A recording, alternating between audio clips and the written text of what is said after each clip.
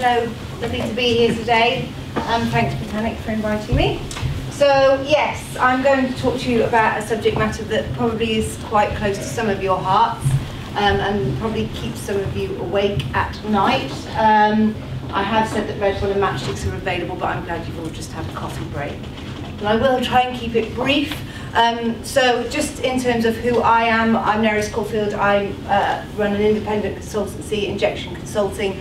I've sort of spent the last 18 years on the floor running contact centre services um, for some of the UK's best, most responsive outsourcers who've all been members of the DMA, so have always adhered to the um, code of practice. I work for various other clients as well um, as an ex-practitioner, but one of my main clients is Mitel, who I'm doing work on around their contact centre proposition um, and making it uh, a uh, you know, appropriate to the different verticals. So the reason I'm here today is because that there's lots of changes going on with regulation, both from an ICO perspective uh, and data processing perspective, and then from the outbound dialing perspective, as, as Danny uh, mentioned earlier. So um, I'm hoping that if it's not already high on your agenda, uh, depending on how you use data and process it, then can take some of this away to your business and start thinking about it. Um, about 25 minutes and ask questions as we're going along. Can't promise I'll be able to answer them, but I will take them away and get answers for you if I can't. So the original Data Protection Act was putting in 1998. Now, that, that was when Tom Hanks was saving Private Ryan. Scheer believed Nobody believed Obama, uh, not Obama, oh God, he wouldn't do that. Nobody believed Clinton at all, and, and StarTACs were, um, StarTACs were like really cutting edge mobiles. Mm. But it also, the data was small, we weren't in a world of Alexes where data was big. You know, you were putting your databases in access and those types of things. Um, information networks were a lot more straightforward. Technology options were basic. If you wanted to get hold of a customer, you just picked phone, and that was it. Um, and uh, we were just doing our own thing. So it's uh, our rules, our data protection rules are just for the UK. That makes it quite difficult to, uh, to now we're much more cross-border and particularly across Europe. Um, and um, also consumers weren't as savvy they would just quite freely give their data and weren't really aware of the implications of, of not uh, of data protection and what the breaches would and could mean to them. Um, and just as an overview of the data protection regulations, these are rubbish slides, by the way, just very quickly. I'll, i just have to do this, and then they come up again. Right, stop. There's eight guiding principles. It's all around processing data fairly and equitably, um, and it's uh, for the data controller, who are the people who have to register with the ICO, who most of you will be data controllers. Data processors include your outsourced providers at the moment, and your cloud and cloud providers are, are also data processors. And um, it's it's all around this processing of, of personal data, and personal data at the moment means uh, your email address, your telephone number, um, anything that can be attributed to you, and that includes your face, which is why when you're going down the motorway, they tell you that um, you're about to have, uh, you know, the speed cameras are coming up because you are identifiable by your face. So that's data protection in action. See, we do this again. So, um, the the consumer is becoming more savvy and data, the Direct Marketing Association, if you, I think there's a few members in the room, but if you aren't members, we're a trade body associated with lobbying for best practice. Um, but so we've been quite close to quite a lot of these cases. Um, and this is making public awareness uh, much greater and it's also making uh, brands and clients feel that they absolutely have to understand what is going on. There's David Lammy, who really shouldn't be getting done and penalised £5,000, sent 34,000 text messages out trying to ask people to go and vote for him, but he didn't have the right opt-in permissions. I mean, this is where groupthink mentality absolutely comes into play, and the charities and the fundraisers have been burnt so badly in the last 12 months as a consequence of this groupthink mentality. They thought they knew the regulations. They all spoke to each other. Oh no, we have got soft opt-in. It's fine. It's fine. No, they didn't, and they didn't, and they got hurt. And now people like British Red Cross have had to say, yes, we're going to go for explicit opt-in, which for their fundraising efforts is going to impact them without a doubt. So, um, because of all that backdrop, the European Union and all the 27 member states within it are now working together in trialogue negotiations to pull together a regulation that is going to be um, legislative. It's not directive, so it doesn't have to go through government once it's passed. It will be a directive. Um, and it's taken a long, long time to get where we are at the moment. But we really are getting closer now. So it's um, the official text, it's all just being done in the different languages at the moment to make sure that they're fully aligned. And it's expected that um, it's going to be published um, in summer 2016 and they'll come into force in 2018. Now that seems like a long way away, but it really isn't that far away um, particularly with some of the some of the companies that are dealing with huge amounts of data. So what are the big changes within GDPR? Well, this first bit got um, tussled over an awful lot. Consent has, has to be given unambiguously, not explicitly, which was what it was originally, because Germany, it's, they, are, they don't do outbound in Germany because, well, they just don't um, because of explicit content, consent, but they've moved it back to unambiguously. So, um, and it can't be implied through inaction. So how are you going to prove that your customers that you're speaking to on an outbound engagement want that engagement and, and are very clear that that engagement is going to happen. So again, going back to the fundraisers, they thought because somebody donated seven years ago that they could give them a call for fundraising and say, would you like to donate again, we're in crisis or what, whatever. And that, that inaction is not, um, that can't be implied as, as um, consent. So more information is going to need to be provided about your data processing activities. So, and interestingly, one of the things is that's still not very clear, but is around uh, profiling. So if you think profiling, you know, if you use your Cameo classifications or your Mosaic uh, classifications on your data treat customers differently, depending on whether they're high lifetime value or low lifetime value, you're going to have to tell your customers that you're going to do that. And potentially you're going to have to tell your customers that you're going to prioritize them in the IVR queue and you're going to give them last agent um, last known agent if that's the if that is what you do in your customer journey. So it's quite an interesting dynamic shift in terms of being open with your customers and being very clear on how you're going to interact with them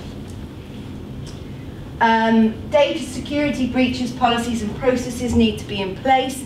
So if you have a data breach, you have to uh, report it to the ICO now within 72 hours. That gives you very little time, and that then becomes public information, obviously, that anybody can go onto the ICO's website. It happens in America. They're going, they're going to see who is breaching their data. However low level it is, obviously we only get to hear really about the ones that are, are big high level breaches, but irrespective now, any data breaches will be published on the ICO uh, website. Um, it has to be built into projects for the start. So you, you IT guys, this is all around you, you know, your infrastructure and how you're going to get that um, those data breaches and policies in place. Subject access requests are currently, there's a few barriers to doing them, so you have to pay £10 if you want a company to tell you everything that they know about you and what they've got on you. And if you're in the, this person's got a lot of money and is going to spend a lot of money with us category, or, uh, you know, or actually let's not bother sending this person much or, or engaging with them very much, that is is not a very known process and it takes I think it's you've got three months or something like that. They're suggesting now that that a that's definitely going to be free, but it's going to be sort of 24 hours that you've got to get that subject access request back to those businesses, that those individuals. So with public becoming aware of that, you might be peppered with a lot of tell me what you know about me. Um, data protection officers there's a bit of ambiguity about this one, but certainly data controllers, most likely data processors, because they are going to be seen as the same, are going to have to designate a data protection officer. And there's, it's basically if you've got, if you are processing significant amounts of data. So I would suggest that almost everybody um, in this room, certainly having uh, looked at uh, uh, uh, the companies that you represent, will have to have a, a, a data officer designated. Um, the length of time the data is kept for, again, you have to be very clear, and there's going to be rules around um, keeping data. And it now includes, personal data is now going to include, include permanent IP addresses, device identified, identifiers, and RFIDs. So all that now comes under personal data, which means your cookie policies will probably have to change. Um, yeah, so that's an interesting shift as well. And when you have a subject access request, you have to bring that data back to the person as well. And, and the credit card information is considered as well. Yes, yes. Which was always a grey area. Yes, yeah, yeah. Um, and the right to erasure uh, right to be forgotten. This is currently still only across Google, but if you want somebody to not be talking about you or not show up, um, yeah, you've got the right to, to request that and all uh, history of you on that, on that browser will be wiped. So that's the big changes and the people responsible, so um, Chris Graham, the uh, Commissioner, and Simon Entwistle, the CEO, are um, very excited because they're going to have a big teeth now. As you know, I don't know if you know, but the DCMS Department for Culture, um, Media and Sport are the people that look after data protection and Baroness Neville Rolfe has been very vociferous in the last um, couple of months, particularly around the fundraising and the way she wants data protection to go. So one of my roles as chair of the DMA Council is to start working with her and explaining, uh, well, yeah, just a bit of PR really. It's not, you know, there's 734,000 agents that work in contact centres and 6,000 contact centres. It's, it's, it, there's some really good reasons why contact centre activity should stay at the heart of customer engagement but they have got much, much um, bigger teeth now. They are going to be able to fine you up to 10 million pounds for data breaches or 4% of, of turnover. So that is that is so significant to some businesses and um, certainly yeah it, it's frightening some boards out there. So what you need to do um, now, I would suggest, is review your private policies and training. So your agents, they obviously mostly go on to, they won't go on the calling floors without having done a Data Protection Act test. And they all, I'm sure, um, carry out data protection questioning um, when they uh, start engaging with a, one of your customers. But have a look at that and make sure that it's absolutely tight look at your privacy notices, so these are your external facing privacy notices. There's loads of guidance about what that should and could look like for going forward. Because of course, if you do it now, if you start getting your external privacy notices in place and making um, your uh, consumer base and your prospective consumer base happy to talk to you now, you don't need to worry in 2018. You've already established that relationship. They're already very clear on how you intend to use um, their data. Then, um, yeah, think about how you're going to process the, quick turnaround of uh, subject access requests, data protection notifications, all your data security standards will need to be um, looked at because of course the ICO when they come in, they're going to be asking for all your documentation. So really, really tight documentation around how you process data, uh, how your data security standards are in place. And they might not just say, oh, it's okay, you've got an ISO 27001, 9001, that's okay. You're obviously, they will look at it and they will um, address your documentation. Your data processing contracts with all third parties. The Guardian, there's so many businesses that have been caught out by using outsourcers who they thought were doing the best thing and it turns out they didn't. And they just handed that responsibility off. Well, they're the data controller, they can't just hand it off. Yes, those data processors should have been doing the right thing, but there's too many examples of where that wasn't the case. So um, cookie consent is going to need to be reviewed because of the IP um, situation and thinking about how you're going to scratch records because you're not allowed to be keeping them just forever and ever and ever, or even for sometimes six months, if it doesn't make sense to the type of engagement that you have with that customer. So that's where we are with GDPR. Any questions on that? No? Okay, and then Ofcom I'll go into now. Now I am not against outbound. I have run some lovely outbound campaigns for Vodafone, welcome calls, health check calls, don't leave us calls, for um, uh, charities, for post, after you've had a test drive in the new Touareg. Outbound, without a doubt, works in the right context. Um, so Ofcom, it's looking like, I spoke to them yesterday, it's looking like um, it's going to be towards the end of May, early June, that the new um, a regulatory uh, um, text is going to come out. They've had an absolute swathe of people trying to say this is really, really serious. If this is what you mean, that well, what they mean is callers aren't allowed, you're not allowed to make more than three abandoned calls. So we're talking, uh, Danny was explaining earlier about the difference between silent calls. Silent calls have always been a no-no. Abandoned calls is where you make an automated message to say you've been called today by da da da. If you want to call us back, that's all going to go out the window.